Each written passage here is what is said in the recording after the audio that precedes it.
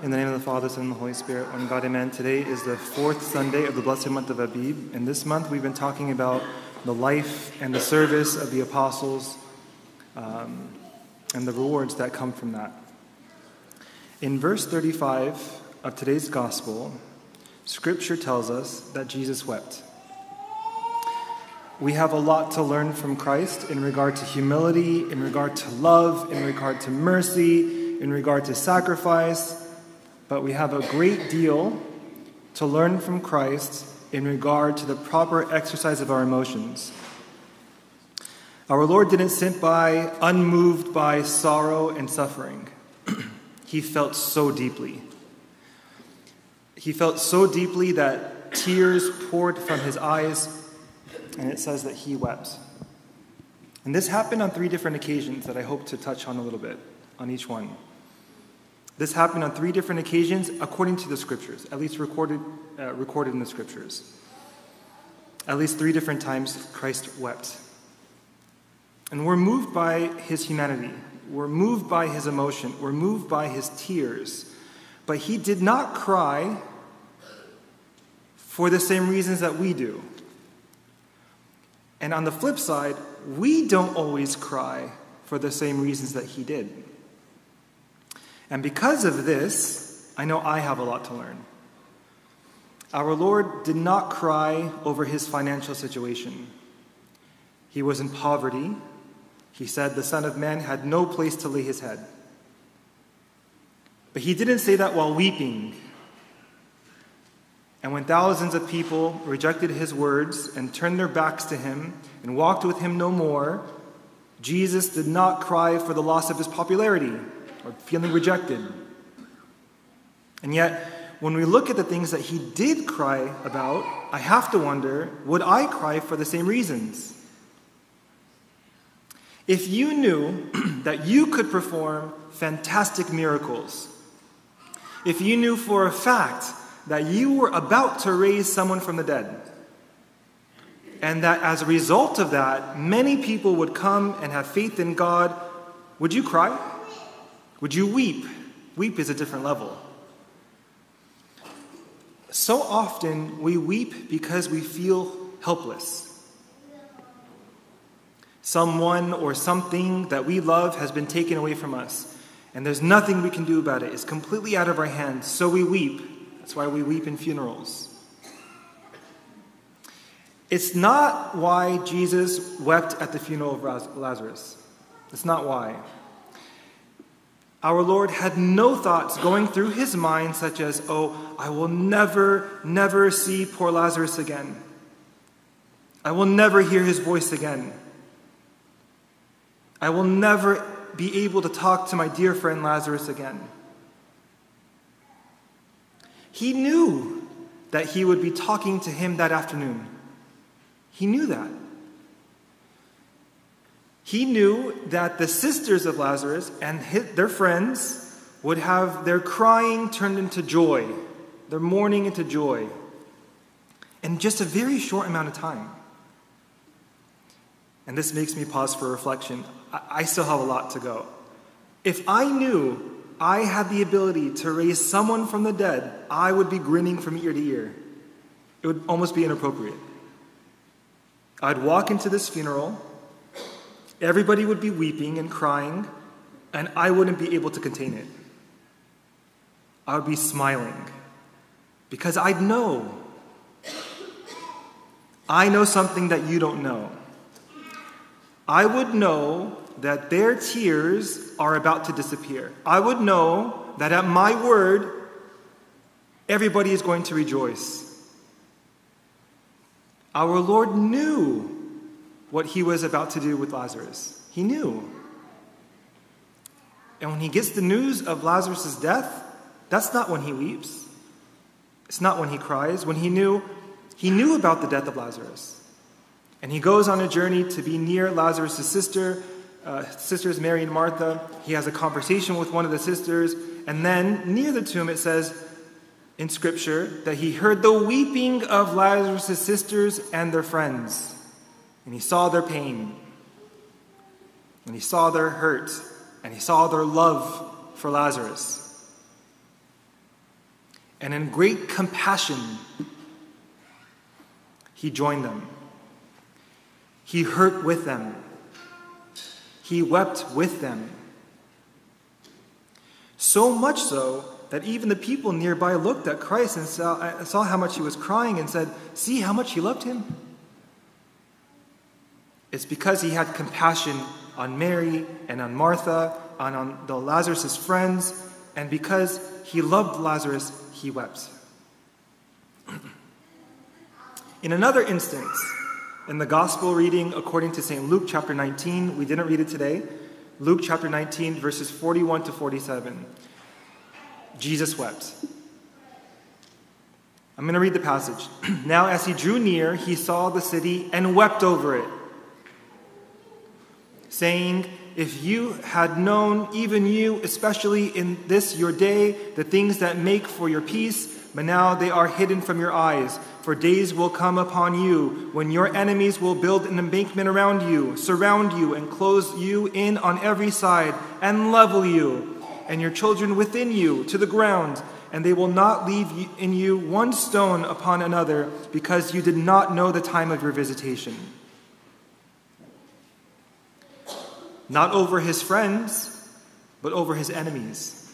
He wept over his enemies in this passage. This judgment that was pronounced on the city of Jerusalem was not a, uh, a judgment on Christians. It was a judgment that had been set forth upon those who had rejected Christ. And our Lord knew that in a few days the crowds would be yelling, Crucify him, crucify him. And in less than one generation from the events of the Passion, Less than 40 years, in 70 AD, the Roman armies encamped Jerusalem. They encamped around them. They laid siege on the city. And in torment for the next several months, the people and the children of that city endured such pain and suffering, extreme starvation that the world had hardly ever seen. That's what happened. I mean, the love had grown so cold, and in rejecting Him who is love, in rejecting Him who is life, the people of Jerusalem, they grew very cold. And they went into extremes during this time with the Roman army around them. I'm not going to, it's very graphic. I'm not going to go into what the people had to do to, to fend off the starvation. I'm not going to go into that. And after this had dragged on for months, eventually the Roman armies destroyed the entire city, destroyed Herod's temple, destroyed the walls. Not one stone was left on the other.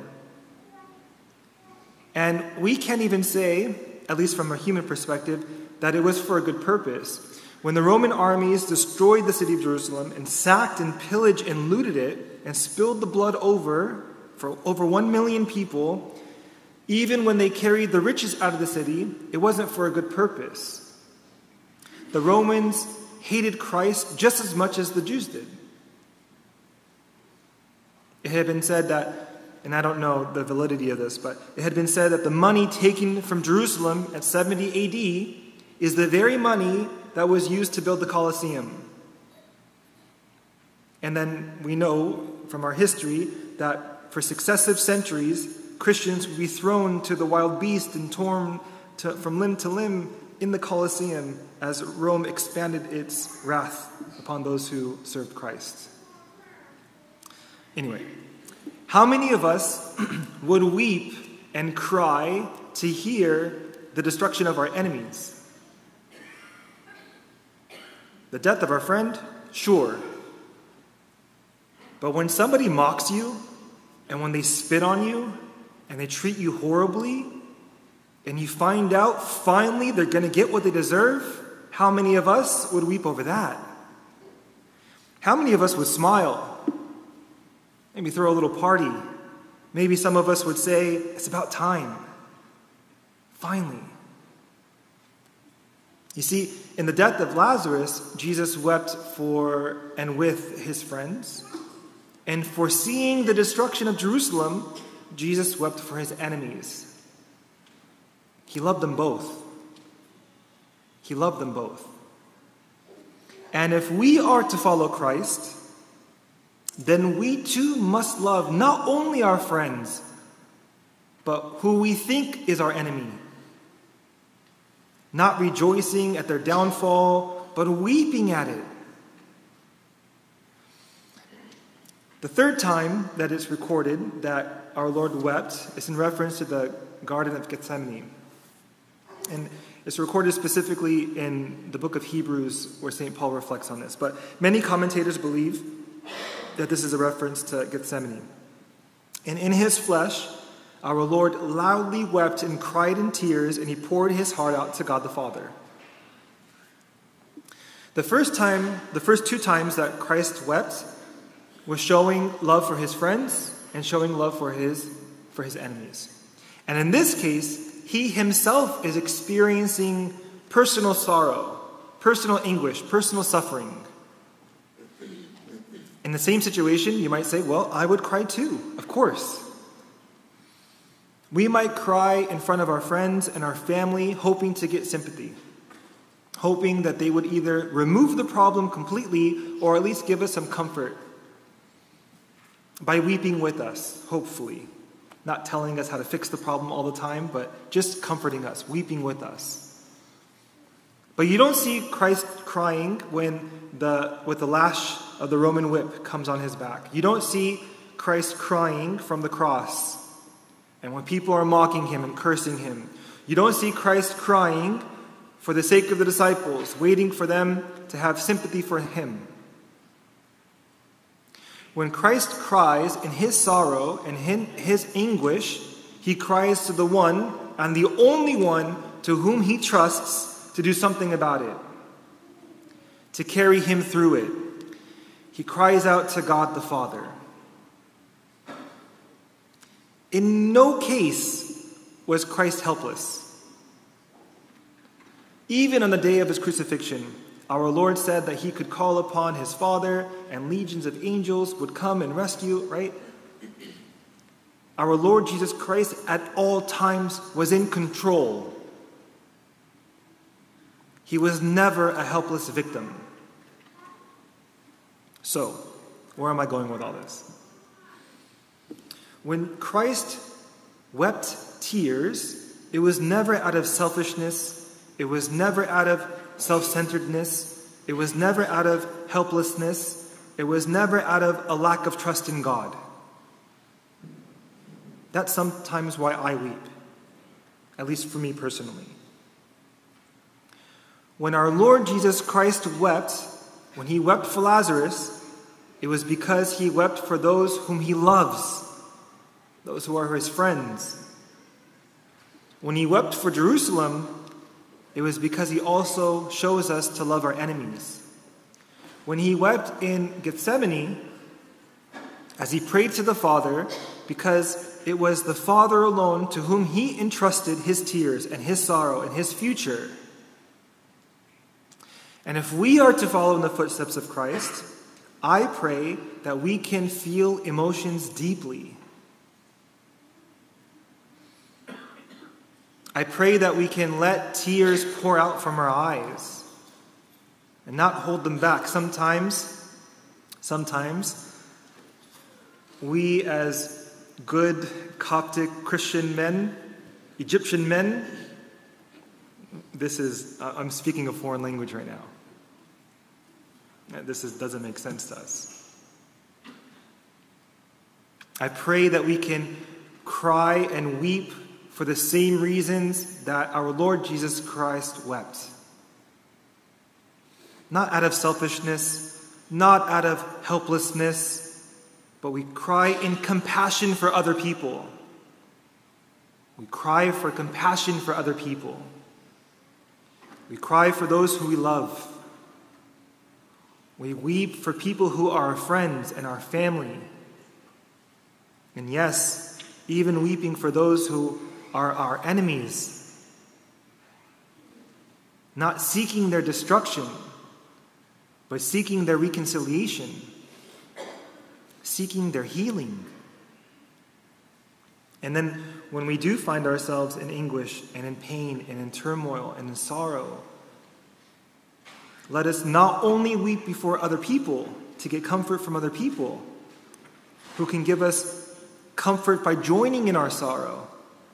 But even more so, let us pour out our tears before God in prayer, trusting that He alone is able to help us and to save us. And glory be to God forever. Amen.